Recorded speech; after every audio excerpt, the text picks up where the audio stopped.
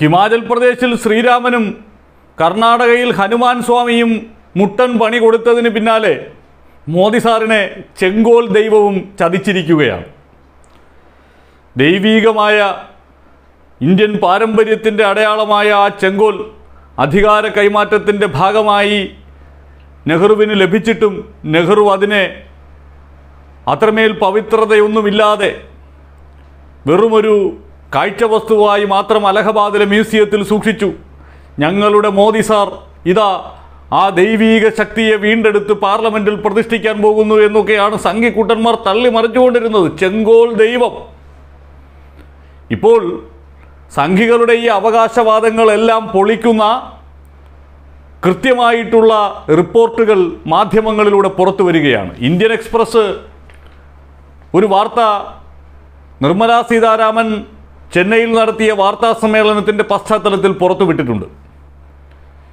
ഈ സംഘികൾ പറയുന്നത് മുഴുവൻ പച്ചക്കള്ളമാണ് എന്ന് തെളിയിക്കുന്ന റിപ്പോർട്ട്. ആധികാരികമായ രേഖകളുടെയൊക്കെ അടിസ്ഥാനത്തിൽ ഈ ചെങ്കോൽ ഇന്ത്യയുടെ സ്വാതന്ത്ര്യം ലഭിച്ച ദിനത്തിൽ അധികാര കൈമാറ്റത്തിന്റെ അടയാളമായി കൈമാറ്റം ചെയ്യപ്പെട്ടതല്ല എന്ന് ഉറപ്പിച്ചു പറയുകയാണ് ഈ റിപ്പോർട്ട്.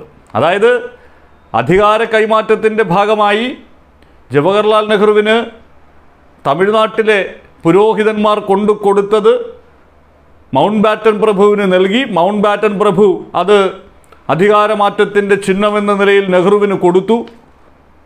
എന്നിട്ട് നെഹ്റു അതിനെ ഗവനിക്കാതെ അലഹബാദിലെ മ്യൂസിയത്തിൽ കൊണ്ടുവച്ചു. അതിനെ ഞങ്ങളുടെ മോദി സാർ രക്ഷപ്പെടുത്തിയെടുത്തു. അതാണ് സംഘി വെർഷൻ.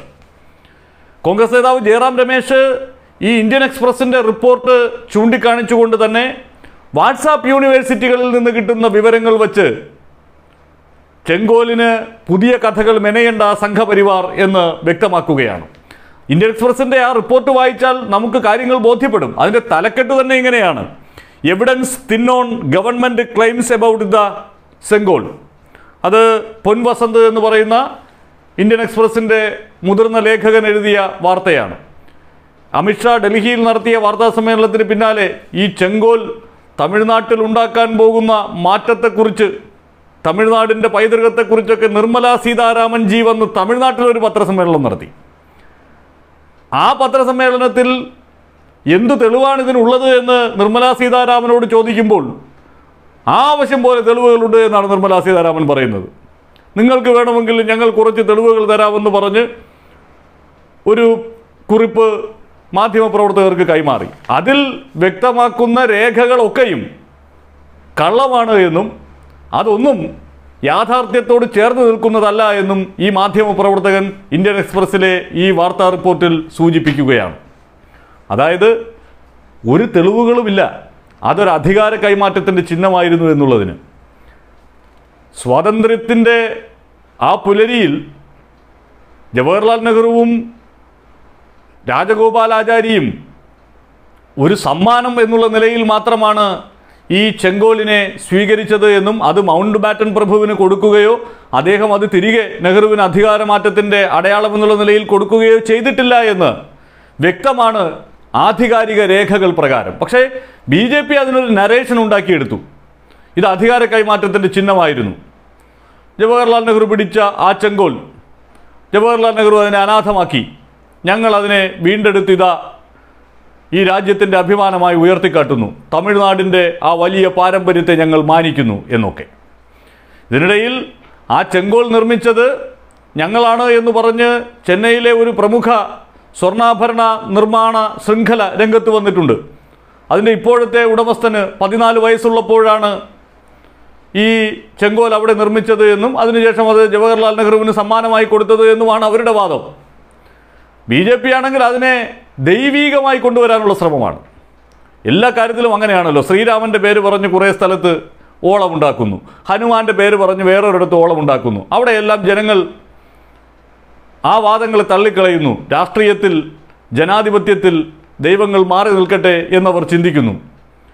തമിഴ്നാട്ടിൽ ഇനി ഇടം പിടിക്കാൻ ചെങ്കോലിനെ ദൈവമാക്കി അവതരിപ്പിക്കാനുള്ള ആ ശ്രമവും പൊളിഞ്ഞടുങ്ങുകയാണ്. യഥാർത്ഥത്തിൽ ആ ഇന്ത്യൻ എക്സ്പ്രസിന്റെ റിപ്പോർട്ട് വായിച്ചാൽ നമുക്ക് ബോധ്യപ്പെടും അത് when asked about documentary evidence Miss Sitharaman said There were as many documentary proof as unwanted in the docket given to press persons at the end of the press conference. A perusal of these documents, however, did not establish the claims of the government. The evidence included reference from books, articles, and reports in the media. It also included social media and blog posts. The reports from Indian newspapers, including the Hindu, had briefly recorded the presentation of the sculpture. None spoke about it being a symbol of transfer of power. Importantly, a picture carried in the Hindu showed the delegation at the Central Railway Station, Chennai on August 11, 1947, before leaving for Delhi. The book Freedom at Midnight also says something similar. Other evidence cited included Ambedkar's Thoughts on Linguistic States, Perry Anderson's book The Indian Ideology, and Yasmin Khan's Great Partition The Making of India and Pakistan.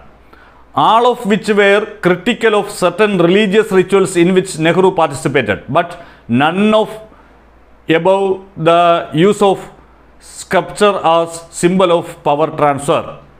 The most ironic evidence presented in the docket was a blog post titled WhatsApp History, written by famous Tamil writer Jayamohan, in which, in fact, ridicules this version of events. അതായത് അതിന്റെ അവസാനമുള്ള ആ paragraph പറയുന്നത് ഈ നിർമ്മല സീതാരാമൻ കൊടുത്ത തെളിവുകളുടെ കൂട്ടത്തിൽ തമിഴ് എഴുത്തുകാരനായ S Jayamohan എഴുതിയ വാട്സാപ്പ് ഹിസ്റ്ററി എന്ന ബ്ലോഗ് പോസ്റ്റ് ഉണ്ട് ആ ബ്ലോഗ് പോസ്റ്റിൽ ഇതിനെ പരിഹസിച്ചുകൊണ്ട് എഴുതിയിരുന്ന കാര്യങ്ങൾ തെളിവുകളാണ് എന്ന് പറഞ്ഞ് ഇവർ അവതരിപ്പിച്ചിരിക്കുകയാണ്. അത്രമേൽ ദയനീയമാണ് അവസ്ഥ.